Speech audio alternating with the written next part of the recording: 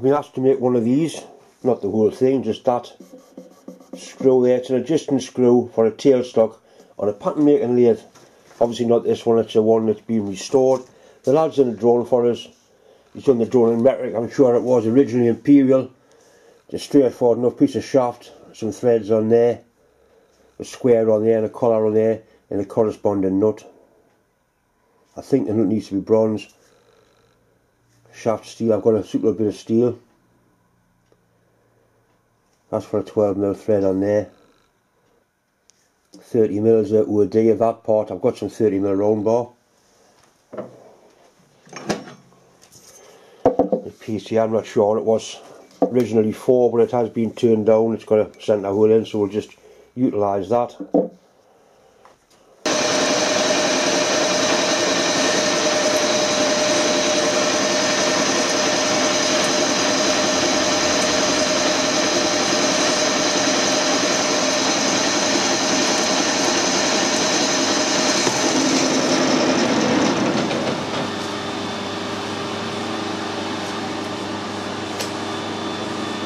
Give us a chance to also check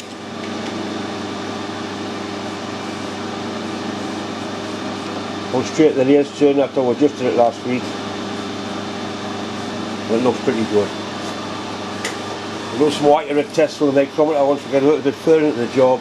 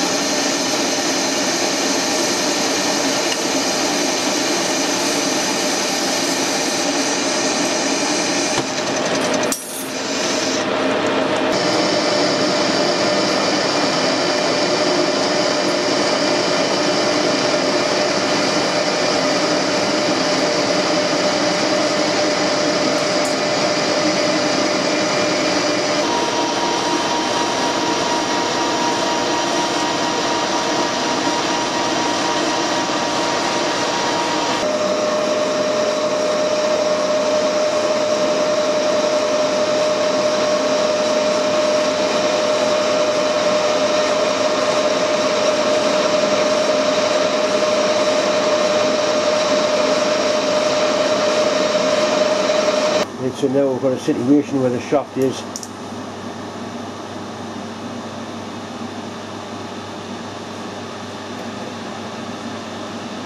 exactly the same size at both ends and it would be the same size in the middle that we the laws of physics must have changed. It is down to 12 mil so it's down to size ready for some threads I don't know what sort of steel this is, but it's horrible. It's not machined very nice at all. It'll just ordinary nail steel, nothing, nothing fancy.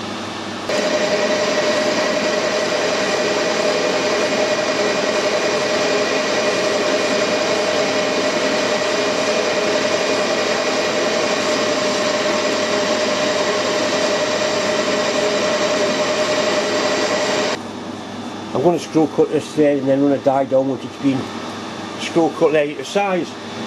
This is a 175 pitch and I did find out that a 175 pitch is a bit of a bastard on this lathe. It means it can't disengage the lead screw. I'm going to reverse the lathe which is a little bit of a pain but it's not the it's not the end of the world. Put a bit cut on and then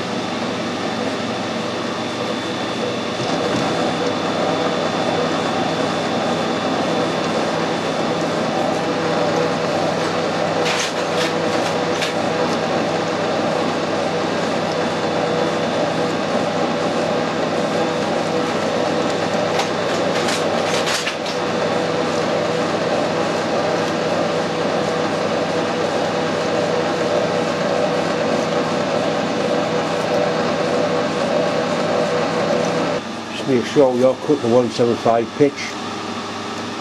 Spot on.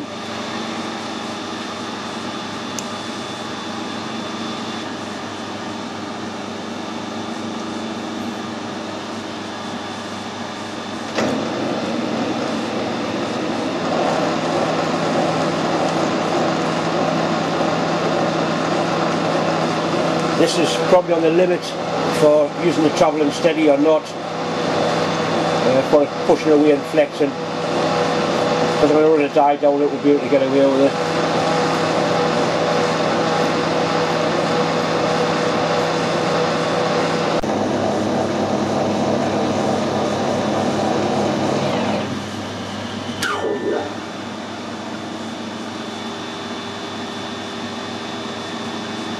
The fact that the has got a clutch on it makes it a lot easier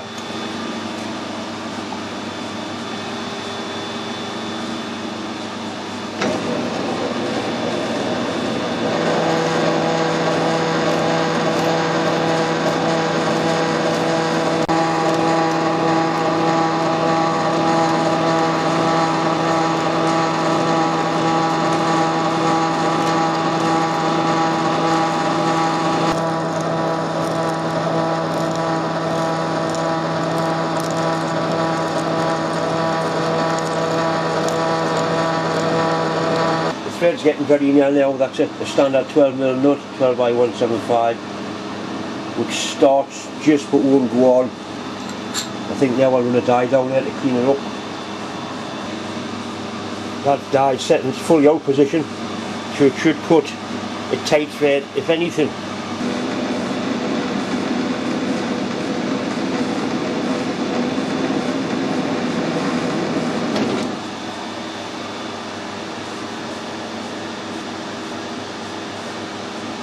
don't be tempted to try and roll the die stock by hand, it's not a good idea.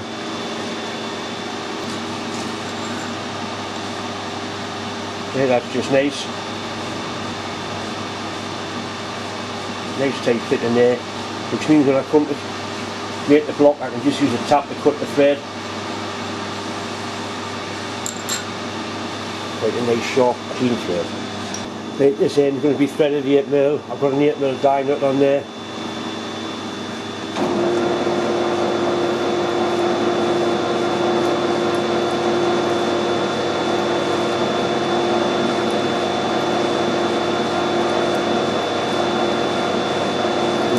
John actually said nine, any thread but there's no nine mil threads really so I took a decision to make it eight.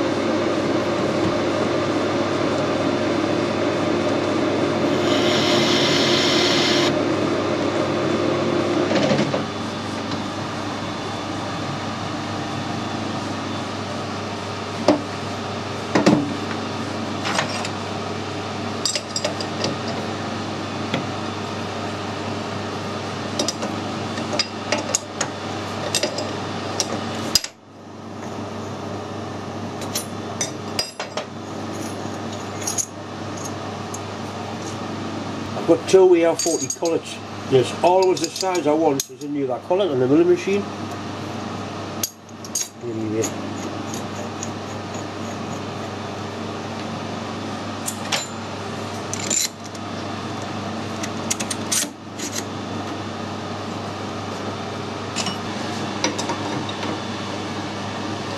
These bell end handles, AR spanners will probably be available in the next week or two they're good because the bell end means your hand won't slip off when you're using it. They also come in ER32 variety. This end needs to be 13 mil square, so I'm going to turn it down to 16 mil round and then put a square on in the milling machine.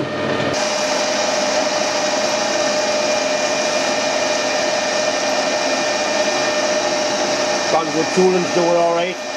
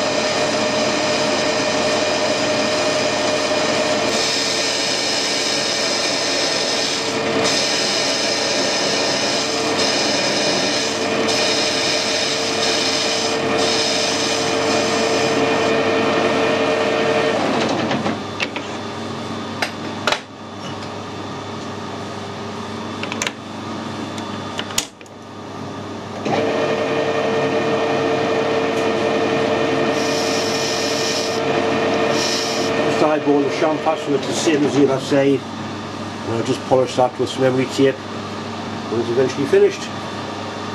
Cut this off the length now.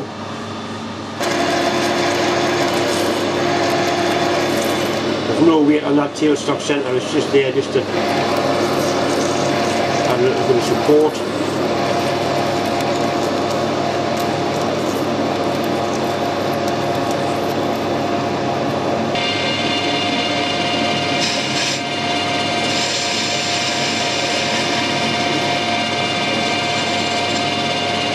just going to put a centre hole in the end of there. It's just handy to have a centre hole in case I've got to repair it or remachine it.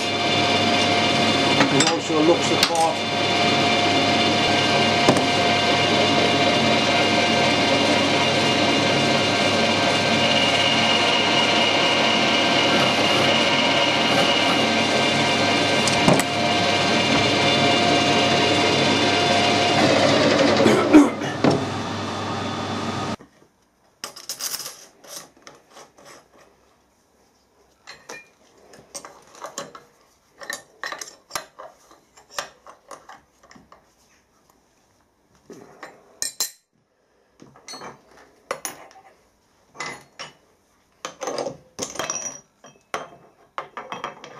That simply goes up against that collet like that. And we're going to turn it till we get the full flat machine done. Suitable milling cutter to do this with. The first thing to do is find the centre. A friend of mine came with a good idea. He says once you've found the centre why not scrape a line up the centre of the collet block? So is it a good idea to me Right.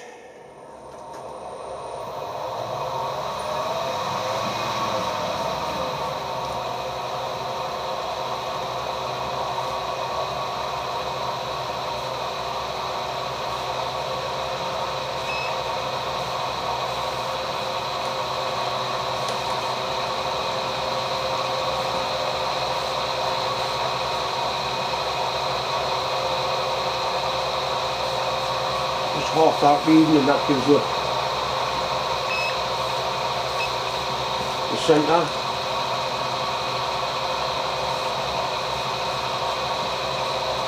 There'll be a reason why I need to find the centre of that, but I can't quite think what it is at the minute. Anyway, we have found it, but we don't, we don't need to find the centre of that. Because we're all going to drill a hole, we're going to machine it flat, you silly Billy. But it was all, it's all good practice.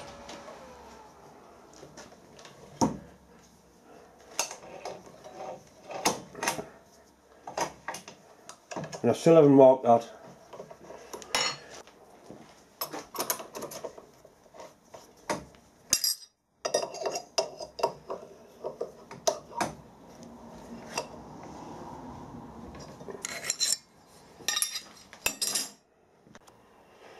I'm going to set up a stop on the table so this milling cutter just touches just touches that shoulder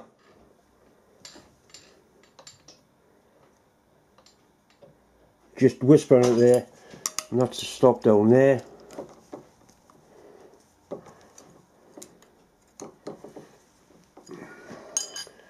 Make sure we can't go too far it's just going to whisper it which is just what I want. Right we need these 13 mil square. It's now 16 so we'll take a mil and a half per flat. That should give us a 13 mil square we'll gently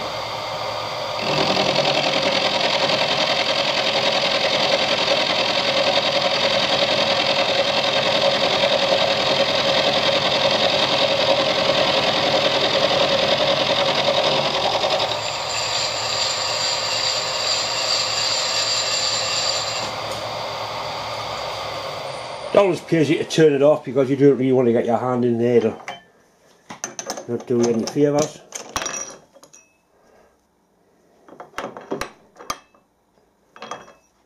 Doing that one, if we do that one, then it means we can measure and make sure it, it's 13 mil. Which I'm pretty sure it will be.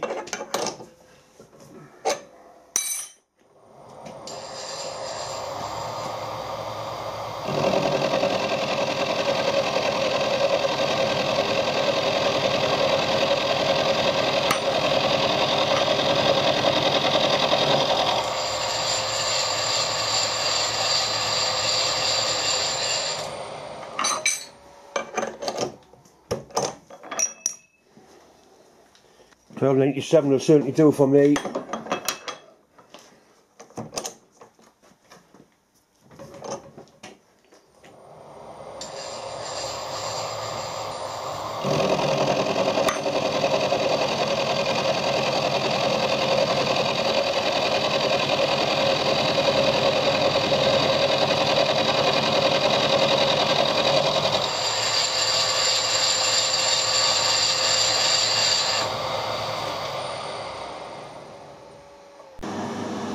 Right, back in the lathe, I just want to chamfer that edge.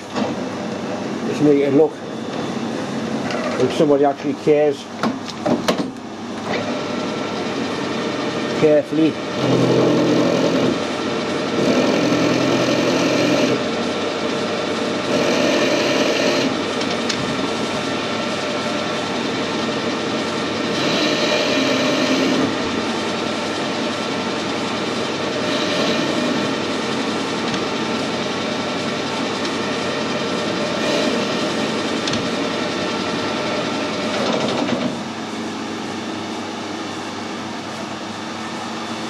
Right, that's the first part done. It's turned out quite nicely. It wasn't the best material in the world, the machine. I don't know what it was. It's something I've been given.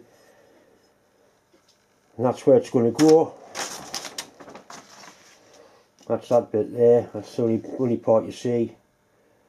I think it's going to look quite nice. I will get some pictures of this when it's actually installed and the machine is restoring. But I think for the minute that's it done.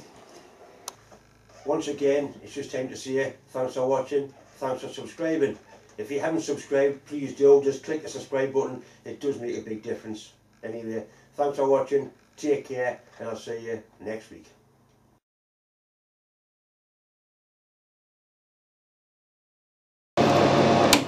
Bastard. That's how you snap a parting tool. A clumsy bastard.